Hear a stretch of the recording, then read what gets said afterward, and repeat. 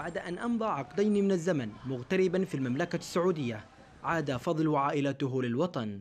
عاد ولم يجد أمامه خيارات أو حلولا أخرى تمكنه من العيش والبقاء هناك حيث يقول إن الإجراءات ضد المقيمين وضعت الكثير منهم أمام واقع حرج ومرهق لكثير من اليمنيين المغتربين. خروجنا كان من السعودية بسبب سعودة الوظائف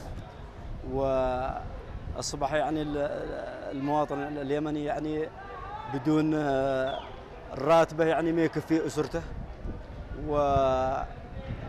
ووصل إلى باب يعني باب بعجز.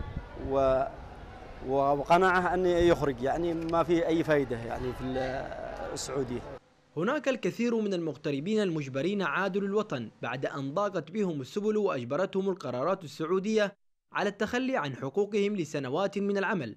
خصوصا بعد فرض رسوم باهظة دون مراعاة لظروف الحرب والمعاناة التي يعيشها اليمن وفي ظل ارتفاع معدلات الفقر والبطالة غير أن البعض من هؤلاء المغتربين بدأوا بالتخطيط لمشاريعهم الخاصة في البلد والبعض الآخر فشل جراء الواقع الاقتصادي المتدهور. إن شاء الله في عندنا مشاريع في المشاريع في البلاد يعني وإن شاء الله يعني بتبشر بخير والبلد يعني إن شاء الله بتتحسن يعني خاصة بعد الحرب وبتصير أفضل وبلاد يعني الإنسان أفضل له من بلاد الغير.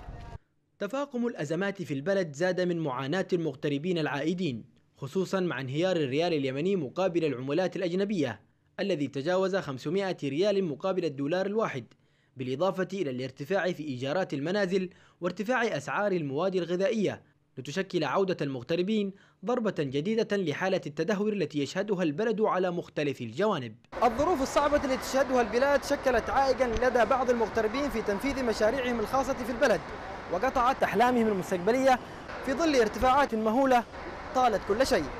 حداد مساعد قناة بلقيس من منفذ الوديعة الحدود اليمنية السعودية.